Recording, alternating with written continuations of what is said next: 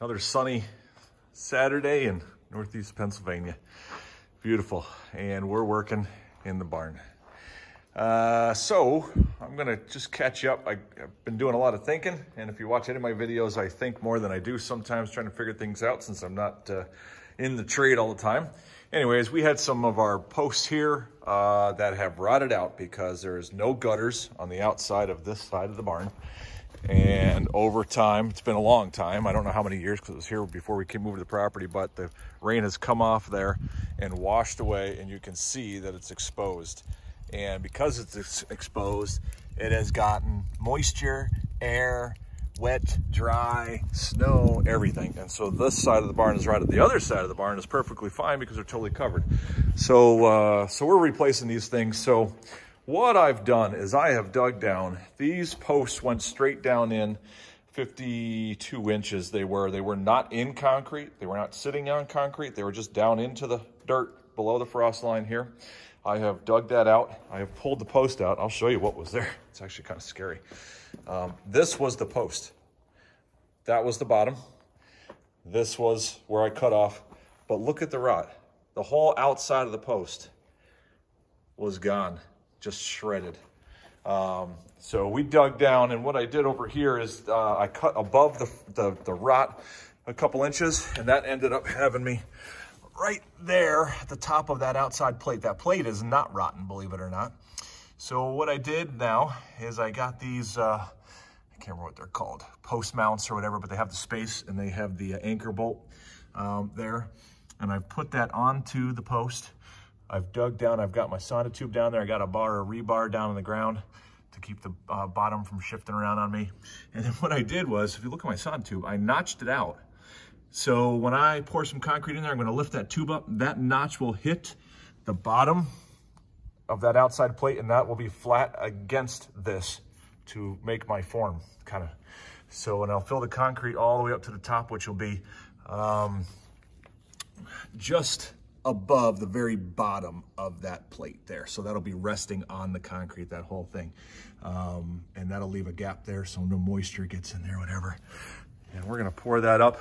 I uh, was gonna brace up my roof because I'm like, boy, I'm cutting out this post. This is a support thing. My roof is not clear span from end to end. I've got the higher roof line up there. So all I've got is this roof here, which is about 15 feet. Um, resting on the interior posts and resting on the exterior posts. I was looking and a lot of these purlins that are on there did not seem right on there. They were straight across. So I was gonna support it right underneath that thing to try to hold this thing up. And uh, I'm looking at it, I'm like, boy, I think it'll hold itself. So I actually cut that out with a chainsaw and it didn't pinch the blade, didn't do anything, went right through. So that means that there's pretty much um, no pressure right now, downward pressure on that, um, which is good. So uh, yeah, so we're gonna mix some concrete, doing it old style wheelbarrow. And uh, I'm seeing, this is my test one, see how it goes. There's 10 of them along the side here that, this was the worst one. Um, the other 10 I'm gonna wanna replace. If uh, this goes well, I'll probably just buy a cement mixer. I saw them for 200 bucks. Save a whole lot of back breaking work. But uh, anyways, that's where we are. And uh, let me pour and I'll catch up. Well, it's day after uh, the pour, let everything cure up started filling a little dirt down there. So uh, what I ended up doing is I put a full bag down the bottom of the hole, put the sonotube was there, actually put some in the middle, and then filled that tube. That's a 48 inch tall, 10 inch diameter sonotube, filled it all the way up to the bottom. I used four and a half bags of the uh, 80 pound uh, Quikrete uh, mix, high strength. Um, that's what I use for in there, made for using columns. And uh, two things I learned that will be different when I do all the rest. This is my first one, my learning post. It was the most rotten one, so I started there. And uh, one is this thing here, when I cut it to notch out for this, I made, I cut it, I sliced on the outside and then bent that in. That gave me a little bend inside that I actually put, you can see the screw head there, to hold the tube up. Because remember, I had this off of the ground a little bit because I wanted to have that kind of a mushroom on the, underneath it. That helped me stabilize it. And then once I got a little concrete poured down there, I could get it level and then we were good to go. So that was really easy. And those lips or wings, whatever you want to call them that I bent in, helped keep the concrete in from leaking out any kind of a gap here. Um, you could see a little bit of a fail. Learned something important here. I had mounded the concrete up to the top of the tube and went up to the top of this silver thing, knowing that it would settle in a little bit. It settled in a lot further than I thought.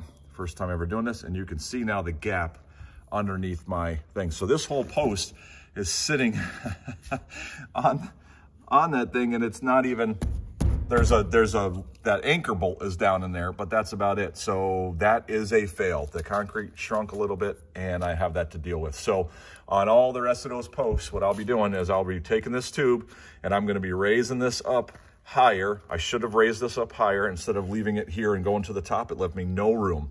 And I'll go up higher and then I'll mound my concrete up a little bit higher, knowing that it's gonna uh, drop down.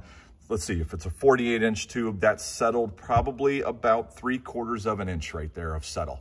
Because like I said, it was up here and it settled down to where you see it now. So that was a fail. So good learning lesson. And uh, anyways, short of that though, everything else went as planned. I'm gonna fill it in and get busy on the rest. Hope those, hope this helps you learn what, uh, what to do and what not to do. So good luck.